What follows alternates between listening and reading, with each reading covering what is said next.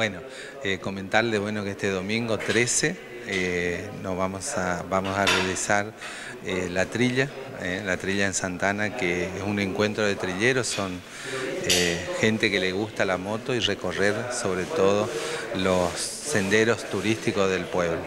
Para ello, bueno, tenemos distintos lugares que van a recorrer las motos, que es a partir de las reducciones hasta la cruz, de la cruz ir por los arroyos hasta el, hasta el río Paraná, donde nosotros tenemos la, playita, la playita que se está preparando también para recibir a, los turistas y a los motoqueros.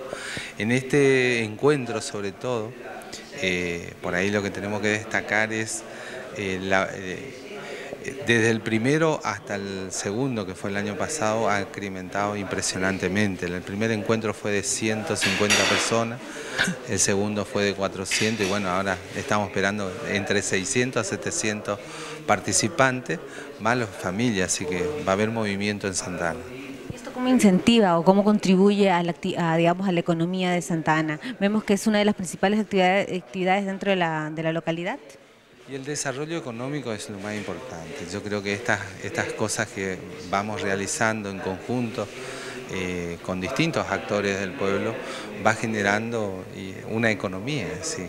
Eh, por ahí vienen, compran el supermercado, eh, se albergan en el hotel. Por ahí Santana tiene la particularidad que estar en el centro le permite a muchos participantes, casi más del 50% que son de Posada o Veral, llegar en el mismo día.